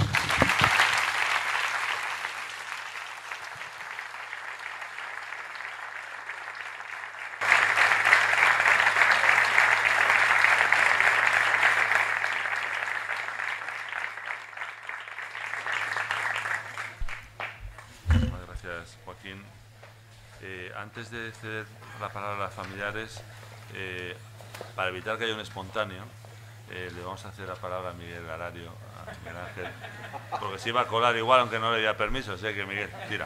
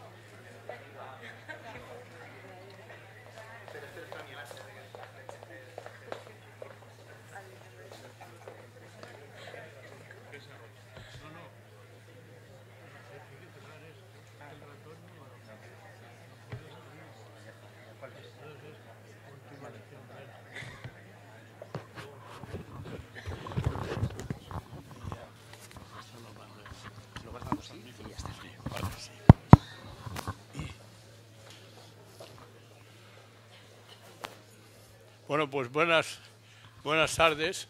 Ha dicho el rector que iba a haber un espontáneo, me parece. Eh, en realidad, quizá eh, soy un espontáneo, pero lo que no quiero es ser el sobrero, porque realmente yo soy el vecino del quinto. Yo en realidad soy el único probablemente de esta sala no soy biólogo, quizá para mi desgracia, por lo que he podido ir esta tarde, y tampoco fui alumno de Benjamín, era casi de mi edad, un poquitín mayor, pero no mucho. Tengo algunos vínculos eh, familiares eh, próximos porque tengo familia en La Mancha, cosa que puede ser también el título de una película como las que ha citado Joaquín. Pero en realidad he empezado a pensar por qué y cuándo conocí a Benjamín, y el dónde sí que lo sé. Le conocí en la Complutense porque eh, en realidad Benjamín era la complutense, yo creo que era el que mejor la representaba. Todo el mundo cuando decías, sí, sí, pues yo ahí conozco a Benjamín, pues estaba en una tesis, ah, pues Benjamín, quiero decir que ahí es donde le conocí, pero en realidad, claro, pues no soy ni su alumno, ni su maestro, ni nada. Entonces he llegado a la conclusión de que le conocí por generación espontánea. Y en una facultad de biología, pues eso no me parece demasiado serio, pero en fin, eso es lo que hay. Entonces eh, nos hemos tratado muchísimo, y digo generación espontánea porque, pues no sé si en la Junta de Gobierno, en un claustro, en el bar de física, en cualquiera de esos sitios, un día pues estábamos cerca y empezamos a hablar y la verdad es que quedamos conectados, conectados de una manera permanente y toda la vida que hemos, eh, hemos tenido muchas ocasiones, algunas las voy a mostrar, han sido auténticos placeres, para él un poco y para mí mucho, porque realmente era un hombre honrado, era un hombre simpático, divertido, listo, sabio y sobre todo ingenioso. Tenía un ingenio a prueba de bomba. Yo creo, y mira que conozco gente que se ríe y sabe hacer reír, creo que como Benjamín no he visto ni siquiera en la tele, que es donde uno ve a todas esas cosas. Bueno, pues os voy a poner algunas imágenes de los momentos que hemos estado juntos y en particular yo tuve la fortuna, que no muchos de los que estáis aquí tuvisteis, de asistir a su última clase que desde las clases que me daba a mí don Salustio, bueno, casi antes de la guerra civil, pero en fin, no tanto, pues no había tenido una clase de biología. Y entonces me la encontré eh, tomando café y digo, ¿qué? Dice, pues nada, que me jubilo. ¿Que te jubilas? ¿Pero cómo te vas a jubilar? Si te jubilas tú se hunde la Facultad de Biología. Dice, no, no, me jubilo.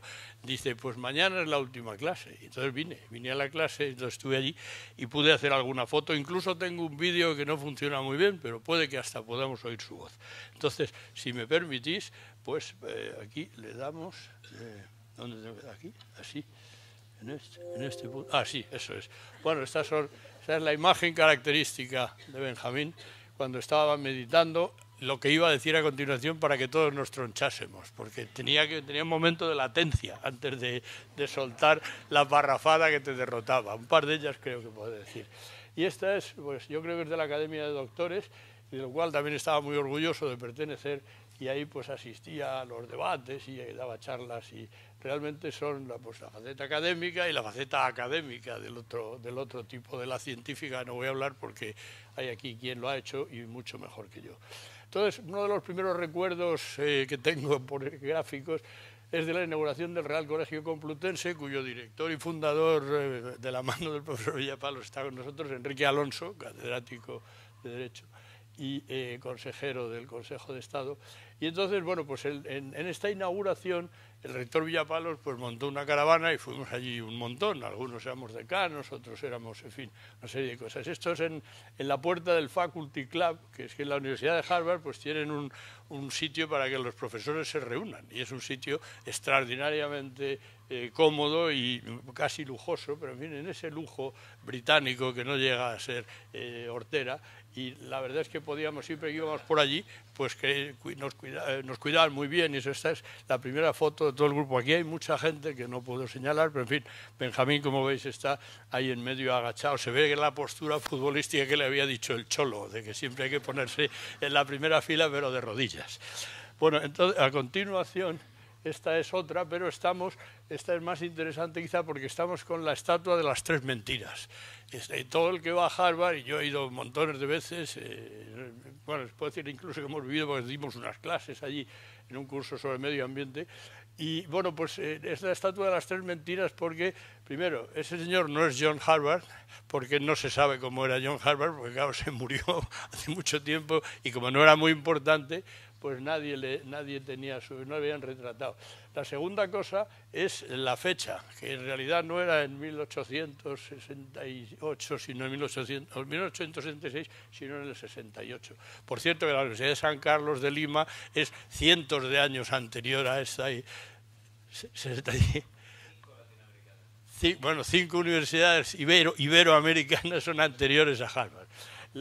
y la tercera mentira es que en realidad él no la fundó, lo que hizo fue donar su biblioteca a una cosa que ya empezaba y en la que él participó, pero en fin, entonces siempre se dice que es la estatua de las tres mentiras y luego uno tiene que tocar el pie derecho, que está, se le ve que está más gastado porque es un bronce de mala calidad y entonces él gasta el pie derecho y todo el que toca eso aprueba y ser eh, aprobar en Harvard pues es una cosa de lo más notable. Bueno, seguimos entonces.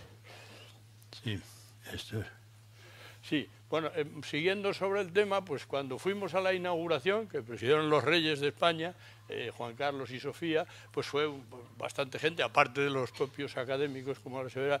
Y ahí, bueno, pues yo veo aquí algunos de los señores que estaban allí, eh, pues la doctora Basante, por ejemplo, está el propio Benjamín a su lado, y bueno, pues mucha, mucha gente que lo estamos pasando bien. Esta fue una cena que nos dio un colegio de enseñanza secundaria, colegio español, de una familia que lo tenía allí para, para niños americanos de, de, nivel económico medio alto, o alto medio, como queráis, que era un colegio español en, en Boston.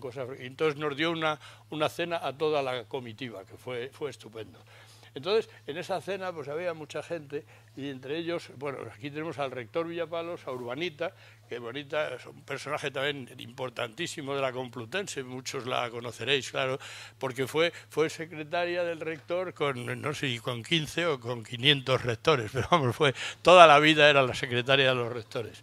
Y entonces está el rector Villapalos y está, está Urbanita. Y también está un señor que no es de la universidad, pero que es muy conocido. Y este señor que eh, se llama Fernández Tapias, pero se le conocía por Fefe.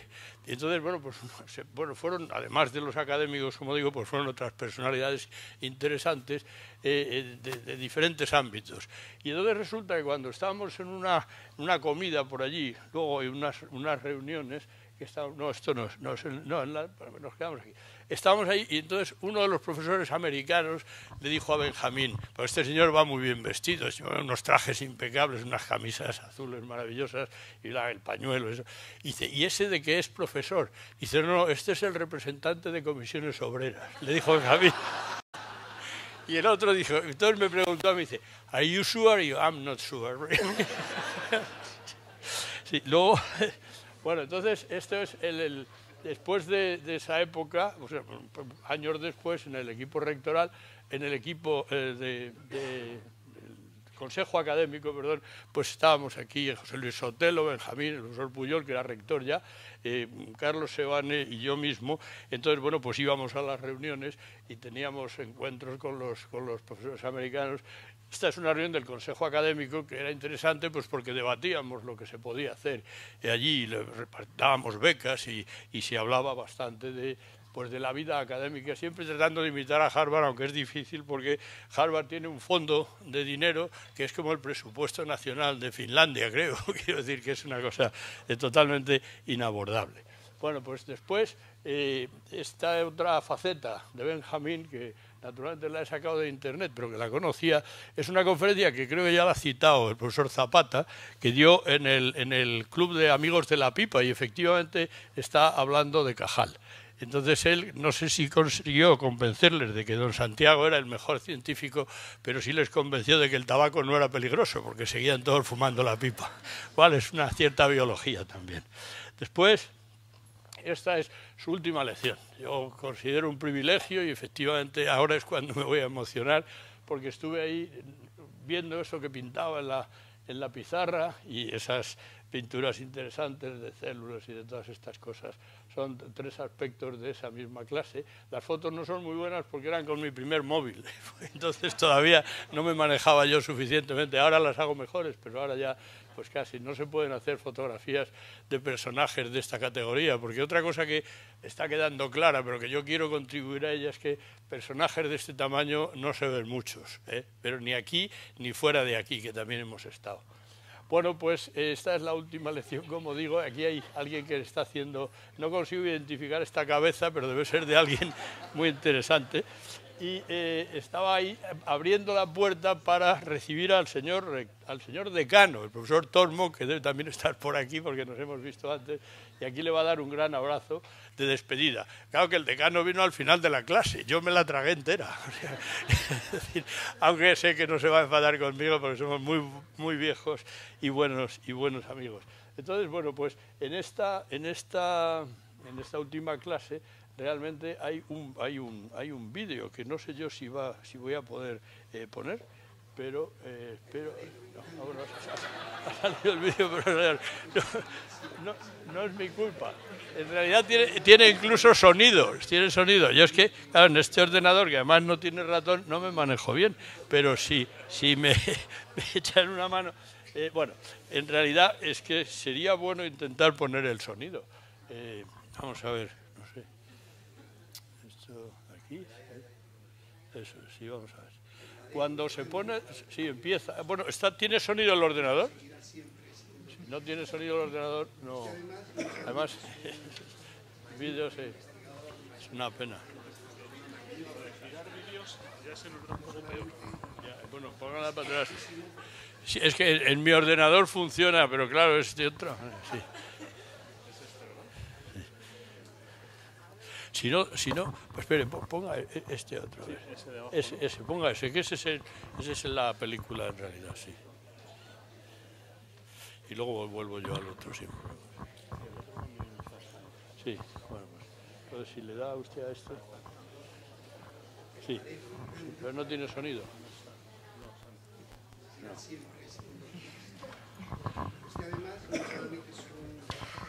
Bueno, por, si no sale sonido, pues se lo cuento yo porque me lo sé de memoria. Entonces, el profesor Tormo también se acordará de ese momento histórico en el que le dice, porque eres un profesor estupendo, porque todos tus alumnos te quieren, porque además eres un señor que sabe mucho y eres el ejemplo de, de Cajal, de Redivivo, y además tú es que nunca, nunca, nunca te has enfadado con nadie. Y se queda Benjamín para y dice, con una sí. Y no dijo quién, con una sí. Y ahí toda la clase estalló en una carcajada que no sabemos quién fue esa una. A lo mejor alguien lo descubre, con una sí. En fin, yo creo que todavía tenía eh, dos, dos transparencias. Transparencias, en fin, se llaman, se llaman de otra manera ahora. Sí, era, era esta, sí, será después, sí.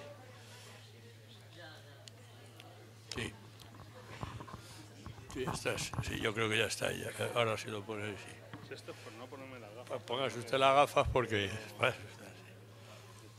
Sí. Esta es la del vídeo. Eh, no, pues no, no, lo pongo así.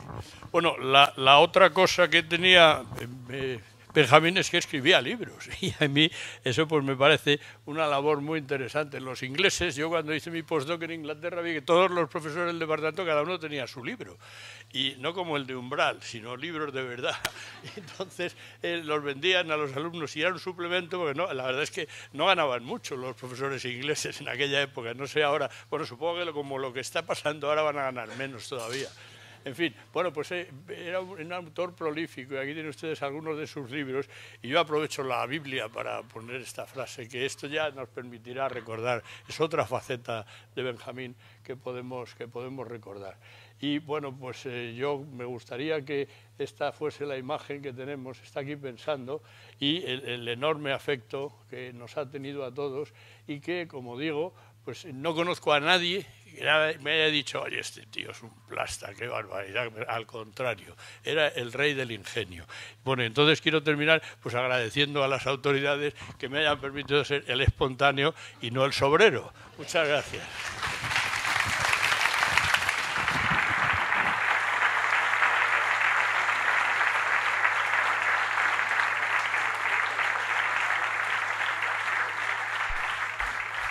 Miguel, te volvemos a Corrales ahora mismo. ¿eh? Ha estado bien, te, indultamos. Eh, eran tres minutos, tres diapositivas. Me lo ha prometido al entrar. ¿eh? ¿eh? yo solo discrepo de una cosa, lo ha dicho Miguel. En el Faculty Club no sé cómo es muy allá. ¿eh? O sea, es más bien de cafetería. Pero bueno, muchas gracias, Miguel. pues pasa, cedemos la palabra a, a los hijos de Benjamín, a María y a Nicolás, cuando queráis.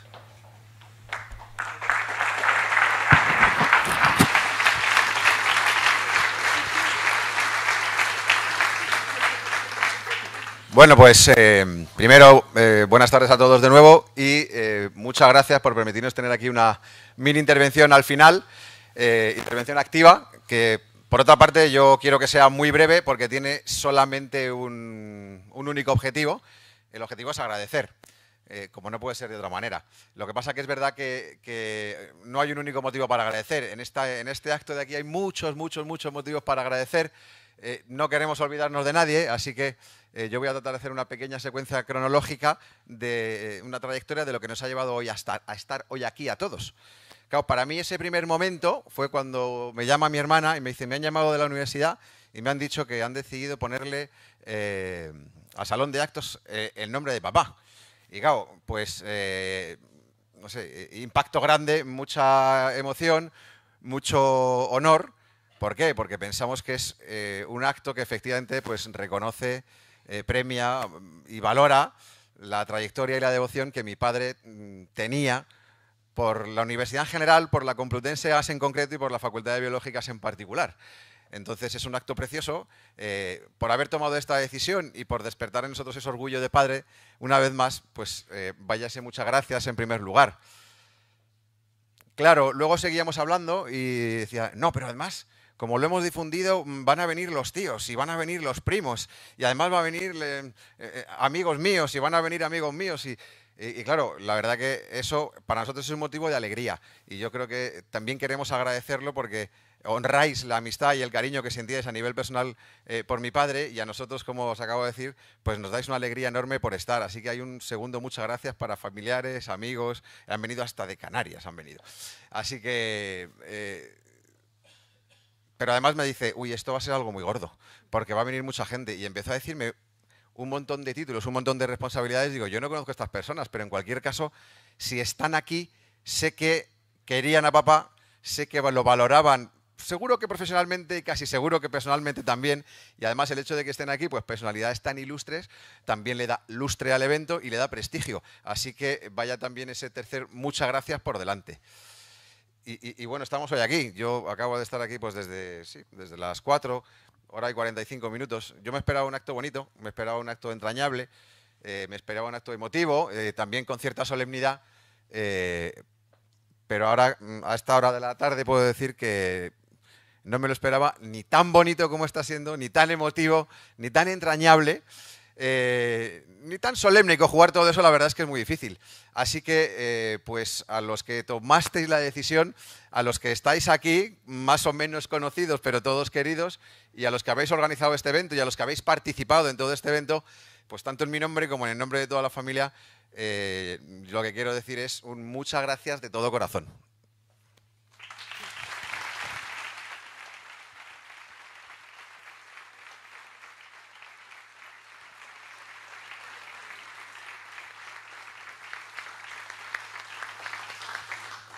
Muy difícil hablar la última.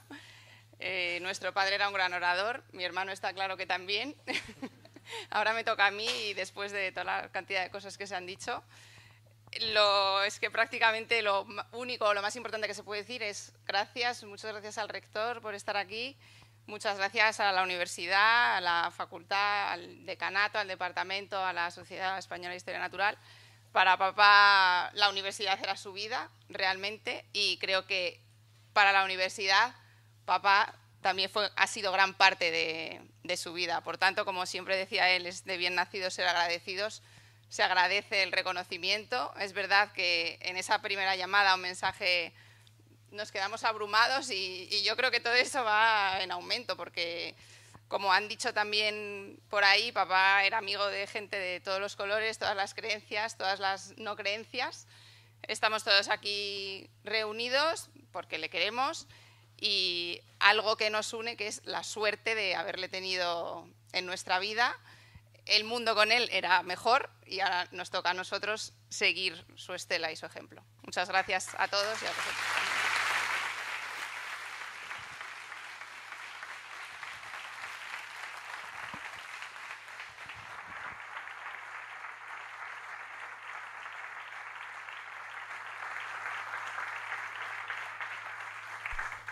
Habéis salido los dos bien buenos oradores, ¿verdad? ¿no? Es difícil de superar ya, ¿eh? Pues ahora vamos a proceder, antes de terminar el acto con, con mi turno, eh, vamos a proceder a, a, presentar la placa conmemorativa de, de Benjamín y a que se adjudica ya para siempre el nombre de este salón de actos.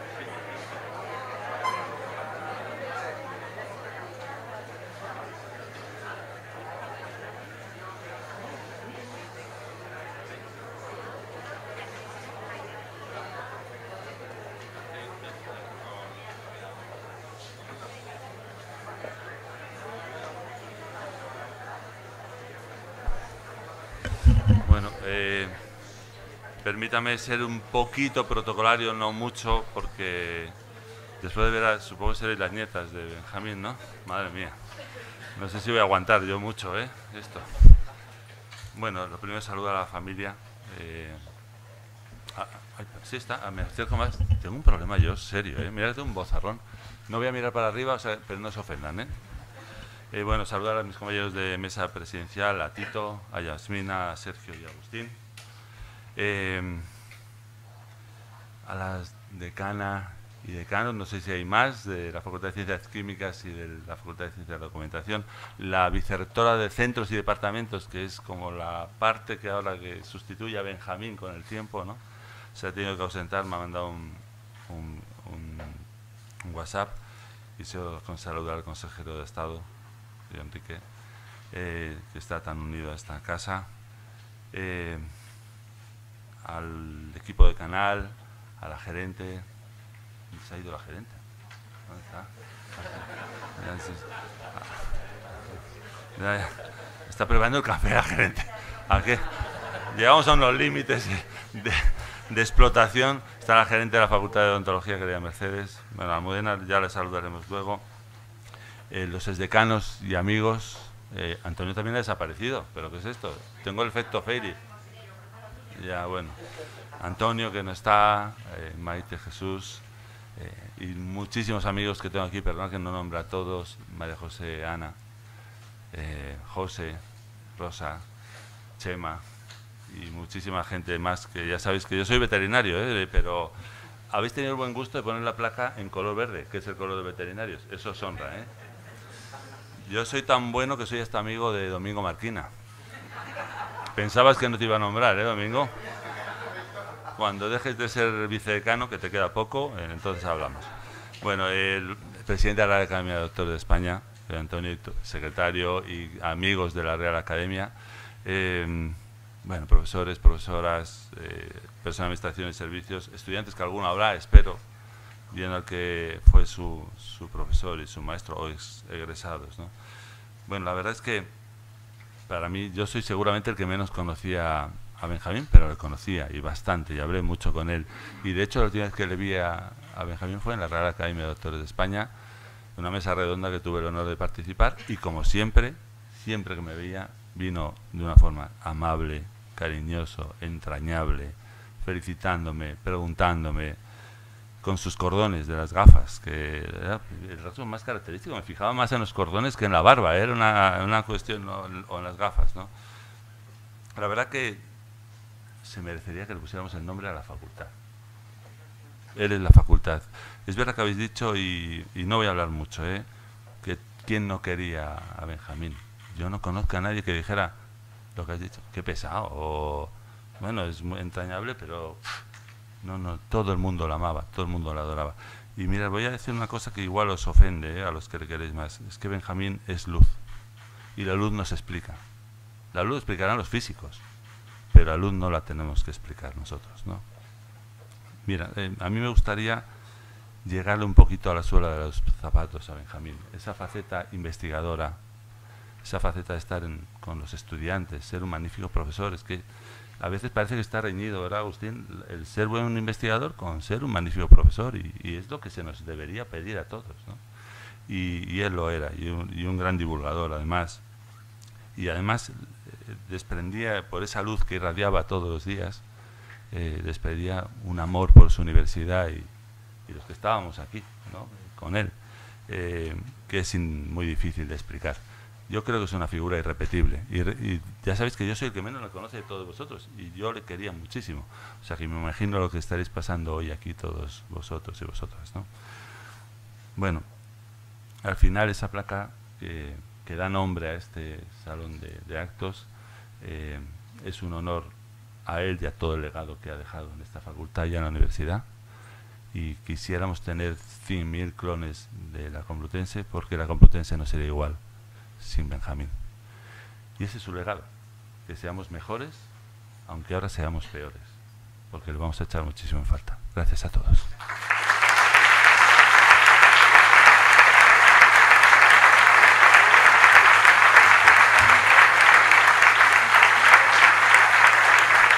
antes de, antes de terminar y anunciarles que hay un café, he estado como rector ya tres años y como decano, decano, en muchísimos actos. Jamás he visto uno tan entrañable.